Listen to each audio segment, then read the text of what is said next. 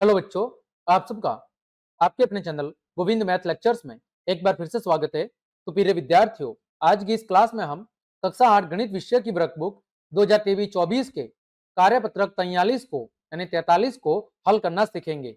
बच्चों, कार्यपत्रक तैतालीस में हम संख्याओं का गुणा और भाग के बारे में समझ विकसित करेंगे। देखो बच्चों, पहला प्रश्न। यदि एक डिब्बे में कितने कप आते हैं? दो दर्जन कप। बच्चों, एक दर्जन में कितने होते हैं? एक दर्जन बराबर होते हैं बारह कप। कितने होते हैं? एक दर्जन में बारह कप आते हैं। तो दो दर्जन का मतलब कितना है बच्चों? दो दर्जन का मतलब है चौबीस कप। इसके बराबर, दो दर्जन के बराबर कितने कप है? चौबीस कप। ठीक है? अब बच्चों क्या बोल रहा है? सोलह डिब्बों में कुल कितने कप आएँगे? सोलह डिब्बों में कुल कितने कप आएँगे? बच्चों, एक डिब्बे के अंदर दो दर्जन कप है। कितने? दो दर्जन, यानी चौबीस। तो सोलह डिब्बों में तो सोलह गुणा चौबीस। बच्चों, जब हम सोलह का चौबीस से गुणा करेंगे तो आएगा तीन सौ चौरासी। कितना आएगा? तीन सौ चौरासी। आगे बच्चों, एक दर्जी दो घंटे में एक स्कूल ड्रेस सिलता है। वह एक दिन में दस घंटे काम करता है। तो बच्चों, दस घंटे में वो कितनी ड्रेस सिलेगा? तो दस भाग दो, यानी कि पाँच ड्रेस। कितनी ड्रेस? पाँच ड्रेस। अब बच्चों, वो कितने दिन काम कर सौ दिन। तो कितने ड्रेस सिलेगा? तो पाँच गुणा सौ, यानी कि पाँच सौ ड्रेस। कितनी? पाँच सौ ड्रेस। अगला बच्चों, हल कीजिए। हमें क्या करना है? गुणा करना है। क्या करना है बच्चों? गुणा। बच्चों, चौवालीस हज़ार तीन सौ छियासठ का गुणा करना है सितर से। तो बच्चों, जब हम इसका गुणा करेंगे तो हमारे पास आ जाएगा बच्चों, ये आ जाएगा कुछ इतना। ये वाला, इकाई, दहाई, सैकड़ा, हज़ार, दस हज़ार, लाख और दस लाख, यानी इकतीस लाख पाँच हज़ार छह सौ बीस।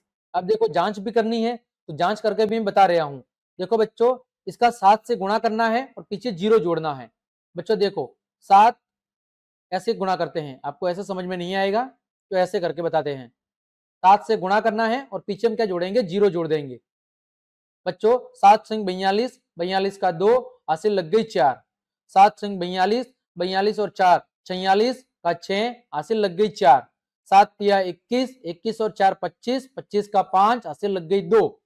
सात चौक अट्ठाईस अट्ठाईस और दो तीस तीस का ज़ीरो हासिल लग गई तीन। सात चौक अट्ठाईस अट्ठाईस और तीन, इकतीस।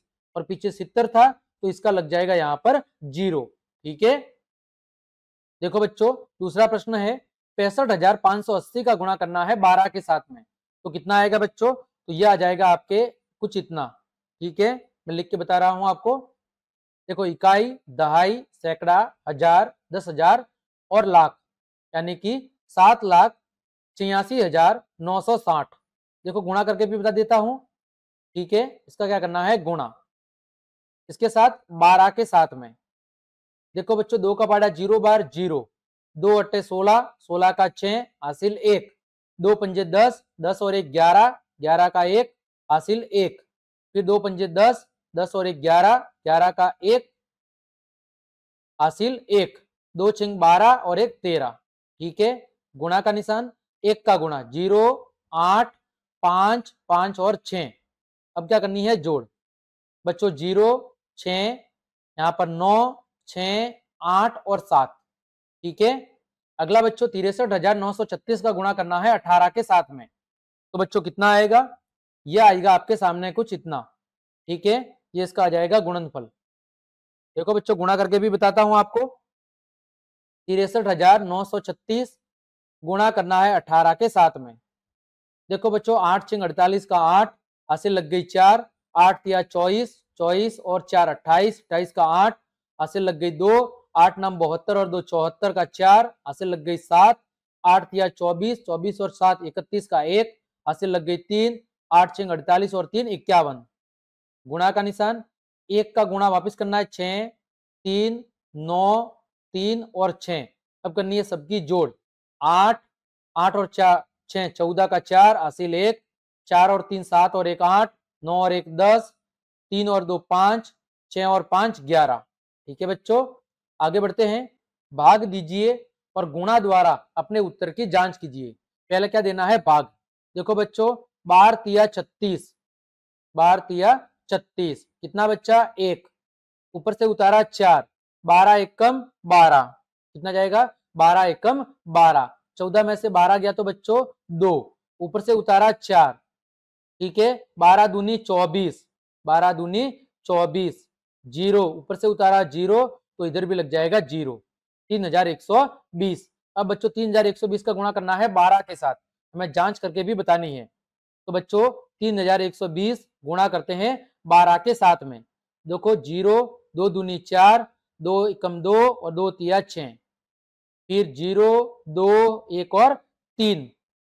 जोड़ कर दो। ज़ीरो, चार चार, सात और बच्चों तीन। देखो, सैतीस हज़ार चार सौ चालीस। आ गया? यानी हमारा उत्तर सही है। अगला है ख किसका भाग देना है? दस का। देखो बच्चों, अठारह में कितनी बार जाएगा? एक बार। दस एकम दस। कितना बचा? आठ। ऊपर से उतारा ज़ीरो, दस अट्ठे अस्सी। ज़ीरो, ठीक है? फिर बच्चों ऊपर से उतारा एक एक भाग नहीं जाएगा, उतारा दो। बच्चों दो अंक साथ में उतारे हैं, ज़ीरो। फिर बच्चों दस एकम दस। शेषफल कितना बचेगा? दो। कितना बचेगा? दो, ठीक है? और यहाँ पर कितना लग जाएगा? एक। बच्चों 1801 का गुणा करना है 10 से। तो बच्चों, जब 1801 का गुणा करेंगे 10 से तो पीछे कितना लग जाएगा? ज़ीरो। अठारह ज़ीरो यानी अठारह हज़ार दस। और पीछे शेषफल कितना बच रहा था? दो। तो हम साथ में दो जोड़ देंगे। तो कितना हो जाएगा? अठारह हज़ार बारह। यानी कि हमारा उत्तर सही है। ठीक है बच्चों? आगे ग। किसका भाग देना है? तेरह का। बच्चों, तेर तिया उनचालीस। पीछे बचा एक। एक और पाँच, पंद्रह। तेरह एकम तेरह। पंद्रह में से तेरह गया तो बच्चों दो। ऊपर से उतारा तीन। तेरह एकम तेरह। तेईस में से तेरह गया तो बच्चों दस। ऊपर से उतारा पाँच। बच्चों तेरह सत्य इक्यानवे तेरह अट्ठे एक सौ चार। ठीक है? तो एक सौ चार। शेषफल कितना बच्चा बच्चों? एक। ठीक है? देखो बच्चों, मैं गुणा करके भी बताना है कि ये उत्तर सही है कि नहीं है। तो बच्चों, तीन हज़ार एक सौ अठारह, इसका गुणा करना है आपको तेरह के साथ में। तो देखो बच्चों, तीन अटे चौबीस का चार, हासिल लग गई दो, तीन और दो पाँच, तीन एकम तीन और तीन तिया नौ। ठीक है? फिर एक से गुणा आठ, एक एक और तीन। अब क्या करनी है? जोड़। बच्चों, चार, आठ और पाँच, तेरह का तीन, हासिल एक, तीन और दो, पाँच, नौ और एक, दस, और ये हो गया तीन और एक, चार। चालीस हज़ार पाँच सौ चौतीस, और बच्चों, एक बचा था शेष फल तो कितना हो जाएगा? चालीस हज़ार पाँच सौ पैंतीस। ठीक है? यानी हमारा उत्तर सही है। आगे बच्चों, प्रश्न संख्या पाँच। सुनीता के पापा एक पार्क में सुबह दो और शाम को दो चक्कर लगाते हैं। यानी बच्चों, एक दिन में कितने चक्कर लगा रहे हैं? एक दिन में चार चक्कर। कितने? चार चक्कर। ठीक है? उन्होंने जून के महीने में हर दिन इसी तरह चक्कर लगाए। तो बताइए पूरे महीने में कुल कितने चक्कर लगाए? तो बच्चों, कुल चक्कर या कुल चक्करों की संख्या। ठीक है? बच्चों, एक दिन में कितने लगा रहे हैं? चार। तो जून के महीने में कितने दिन होते हैं? तीस।